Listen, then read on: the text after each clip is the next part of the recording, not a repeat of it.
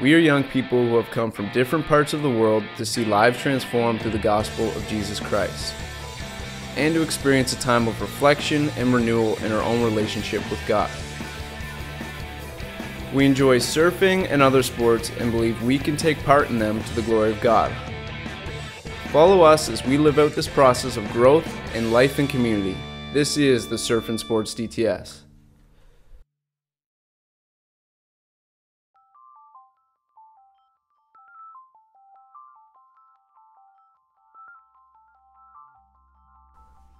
After a few weeks of preparation with the staff, the day has finally come.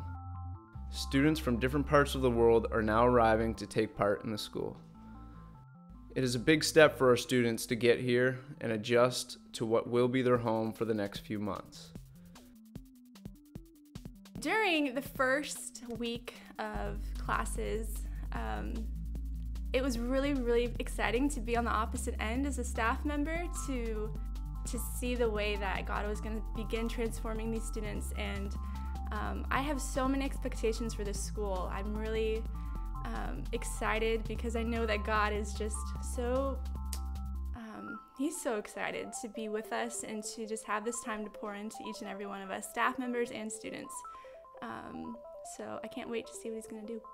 All of these students are so eager to get to know God more and to live in community with one another. I'm learning so much from the students and just and how open they are to receive and to take. Um, they all have such teachable hearts. And to be a staff member, that just makes it so much easier to have students who are willing to lay down their pride and just say like, "Hey, teach me. Um, I want to learn more." So I'm I'm a blessed staff member to have students like that. After a great time of food and fellowship, everyone seems pretty excited to jump into the first week of the DTS. Hi, I'm Garrett. Um, it was really cool getting to meet everybody and kind of just we're all starting this new thing together. So it's really it's really a new experience for all of us. So we're all kind of in the same boat, and no matter where we come from or what cultures we're we're used to, um, it's just a new thing for everybody. The town of Pichilemu is awesome. Like the people are just very generous and welcoming. Um, yeah, everybody's just it's a beautiful town.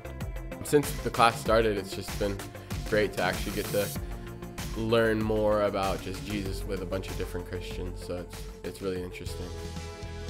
It's been a full week, classes, work duties, surfing, and even serving a bit at the local skate park.